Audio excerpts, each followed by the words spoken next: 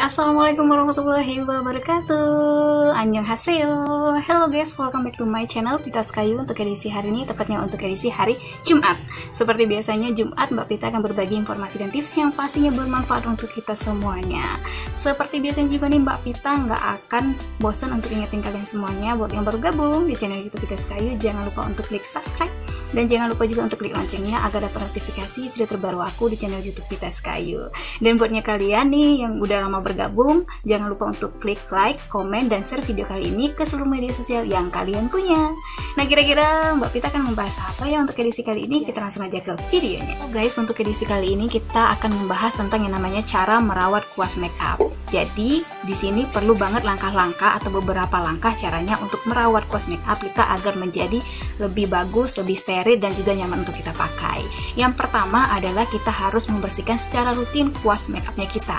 Caranya adalah dalam satu minggu sekali kita harus mencuci kuas makeup tersebut. Untuknya kalian yang mungkin lagi banyak kesibukan atau mungkin juga nggak sempat untuk membersihkannya, cukup dalam satu bulan itu satu kali saja. Nah, sebenarnya pertanyaannya adalah Mbak Bita ada nggak sih kira-kira sabun khusus untuk membersihkan kuas makeup? Pastinya ada karena sudah banyak banget dijual di e-commerce e-commerce di luar sana, terutama di kayak di online shopping dan lain sebagainya itu menjual yang namanya sabun khusus untuk pembersih ataupun mencuci kuas makeupnya kita.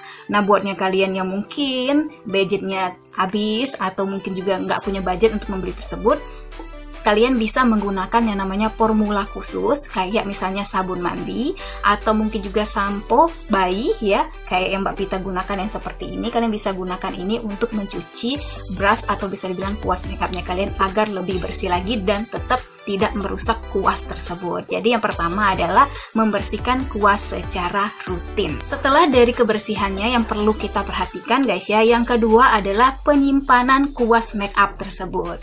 Ada banyak orang yang kayak berpikir, ah udahlah kuas make up mah ditaruh sembarangan aja juga nggak masalah gitu. Yang penting dia punya tempatnya dan kita tidak lupa untuk menaruhnya di mana seperti itu.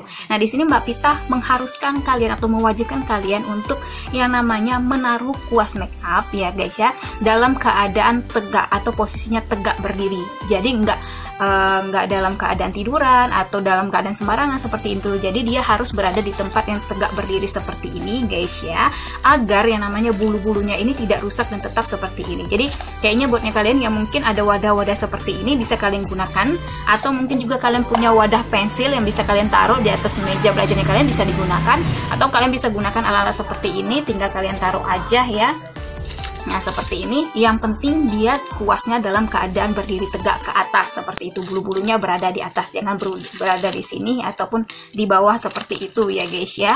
Kenapa dia harus tetap tegak bagus, tetap tegak seperti itu agar dia bulu-bulunya tidak rusak.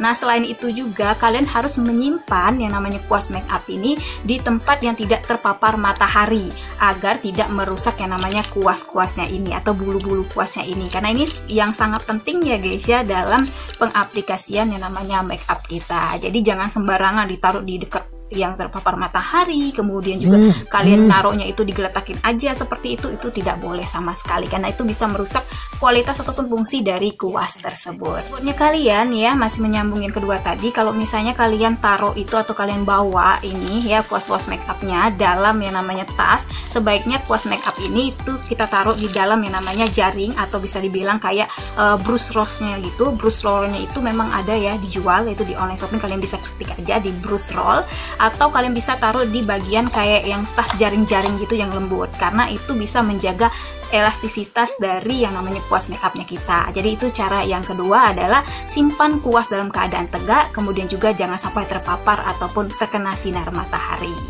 Lalu yang ketiga guys ya, yang penting adalah keringkan dengan cara yang benar. Jadi kalau kamu udah mencuci ya ataupun kalian mensterilkan yang namanya kuas make up kalian tadi dengan sabun yang as, e, memang khusus untuk yang namanya kuas make up atau juga misalnya kalian dengan formula khusus yang Mbak Pita bilang tadi. Yang ketiga adalah kita dengan cara mengeringkan dengan cara yang benar. Nah, setelah dicuci guys ya, kuas-kuas make up ini kalian bisa menggunakan handuk ya dengan cara ditekan-tekankan, handuknya ditekan-tekankan ke bagian kuas make upnya kalian agar sisa air dari kita mencuci itu bisa bersih atau bisa dibilang kayak tidak ada sama sekali lagi. Seperti itu.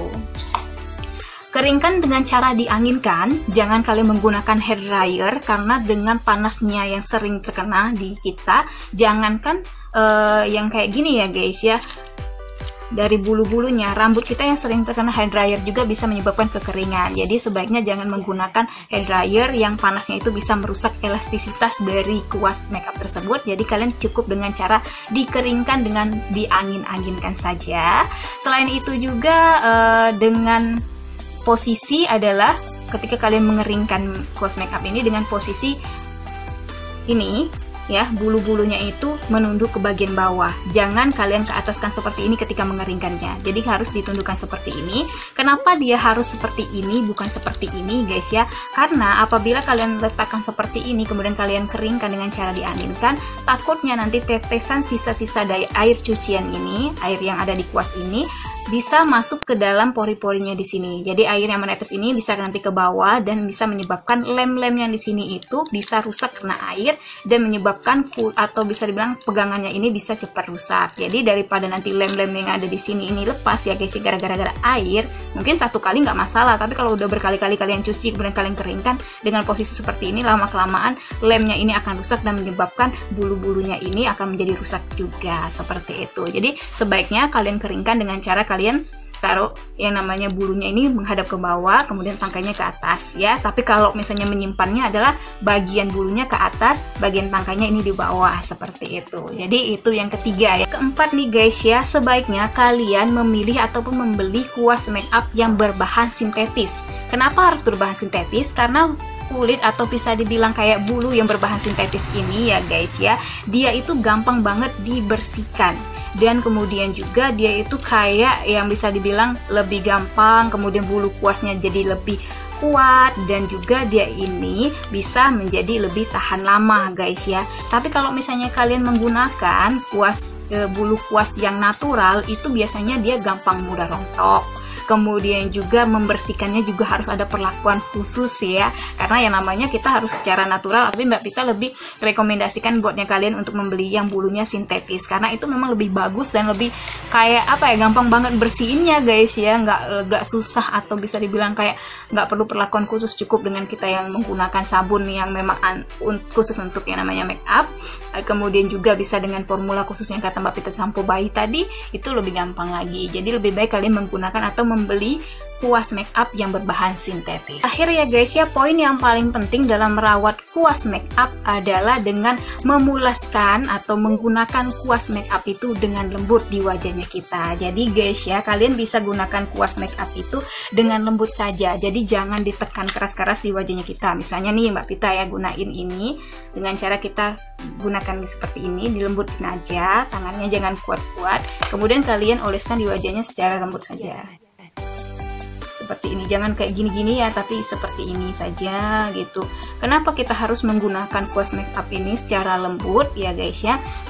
Karena biar tidak terjadi perubahan di kuas make upnya kita. Kalau misalnya kita keras-keras nih guys ya. Misalnya Mbak Pita nih keras-keras menggunakan kuas make up itu di bagian wajah Mbak Pita kayak gini-gini dan hasilnya bentuknya dia akan melebar guys ya. Nah akan melebar seperti ini. Jadi akhirnya bentuknya itu tidak seperti semula. Awalnya dia kayak gini tiba-tiba jadi kayak gini melebar. Tuh kan?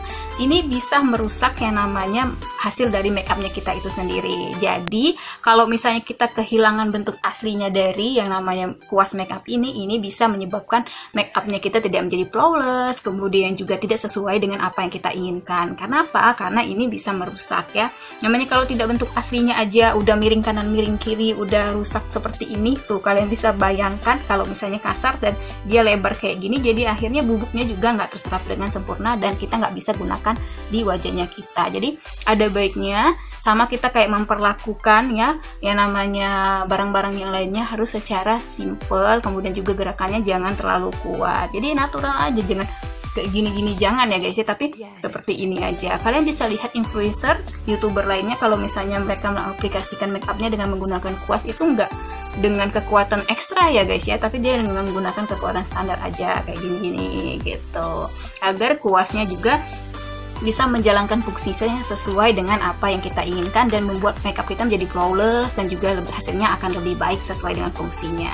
Semoga yang namanya cara ataupun langkah-langkah kita yang namanya merawat close makeup ini bermanfaat untuk kita semuanya. Buat kalian yang sudah menyaksikan video yang ada di channel YouTube Pitas Kayu, thank you very much. Dan jangan ke mana-mana nanti di edisi hari Minggu, Mbak Pita akan unboxing first in person ataupun review beberapa barang yang Mbak Pita beli atau Mbak Pita dapatkan. Untuk edisi hari Rabu, Mbak Pita akan tutorial makeup kosmetik dan kecantikan. Sampai jumpa lagi. Wabillahi taufiq hidayah. Wassalamualaikum warahmatullahi wabarakatuh. See you next time and dadah. Bye-bye.